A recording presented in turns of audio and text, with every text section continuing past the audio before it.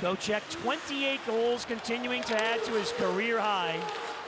And now Nurse has an opening and he shoots and Luongo way out to make the save. And then it's deflected away. Did Luongo reach back? Well, we'll take a good look now. Oh boy, that one squeezed through Roberto. Oh, And it does hit his stick. Man. How about that? Wow. We need a couple of angles to really see it well.